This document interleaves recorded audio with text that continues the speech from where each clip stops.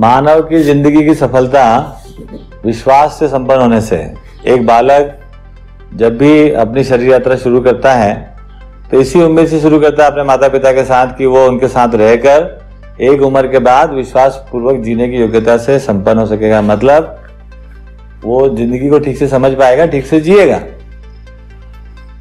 ज़िंदगी उसके नियंत्रण में हो जाए, यही उसकी अपेक्षा है फिर एक उम्र के बाद ऐसे विश्वासपूर्वक जीने के लिए अब उसकी ट्रेनिंग शुरू होती है, उसका ट्रेनिंग को अगर समझने जाओगे तो वो स्वयं पर नियंत्रण पाने का ट्रेनिंग है।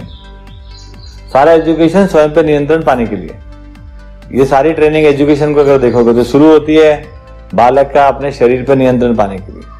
फिर आगे चल के भाषा पे नियंत्रण, फिर उससे आगे विचार पर, फिर व्यवहार पर, फिर तमाम तरह की जो स्किल्स हैं, उन सब के नियंत्रण की आवश्यकता होती है। क्योंकि नियंत्रण पूर्वक जीना ही विश्वास पूर्वक जीना है।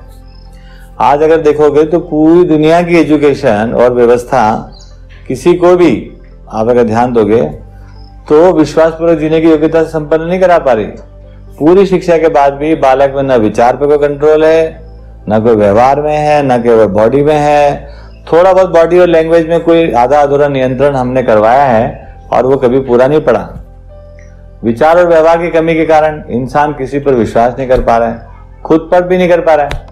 फिर संग्रह करना और सुविधा में सुख ढूंढना विश्वास के अभाव में उस इंसान की मजबूरी बन जाती है। इसीलिए आप देखोगे, ऐसा व्यक्ति जो है, वो खुद पर नियंत्रण के अभाव में ही हमेशा समस्या से घिरा रहता है। और ऐसे बिना समाधान पाए या तो वो नौकर बनता है या शोषक बनकर जीता है, ये उसकी मजबूरी है। तो आज पूरी एजुकेशन से निकलने वाला आदमी विश्वास पूर्वक नहीं जी रहा है, बल्कि नौकरी और व्यापार पूर्वक या शोषण पूर्वक ही जीता है, ये उसकी मजबूरी है। हमारी ज़िंदगी पर हमारा नियंत्रण रहे, यही विश्वास है। जैसे एक बार साइकिल पर नियंत्रण सीख गए तो आप साइकिल को विश्वास पूर्वक चलाया जा सकता है, ज़िंदगी भर। ठीक इसी तरह मानव की ज़िंदगी समझ में आ जाए, संबंध समझ में आ जाए, संबंध में नियंत्रण पूर्वक जीने की योग्यता आ जाए तो विश्वास पूर्वक जीना बन जाता है। यहाँ पर यह भी समझना ज़रूरी है कि संबंध में नियंत्रण का मतलब है मानव का संबंध, मानव के साथ और प्रकृति के साथ है। उन दोनों संबंध में निश्चित दायित्व, कर्तव्य को पहचान लेना और जीने की योग्यता जाना।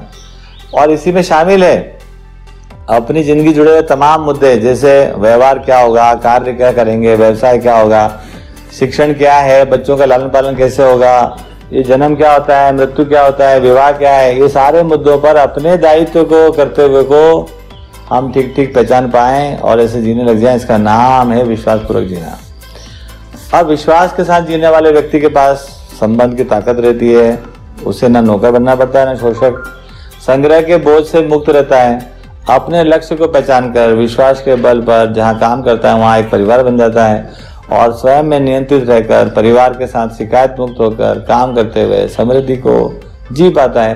इसी समृद्धि के एहसास के साथ, अनियंत्रित, अविश्वास के साथ जीने वाला व्यक्ति ज़िंदगी भर तरसता रहता है।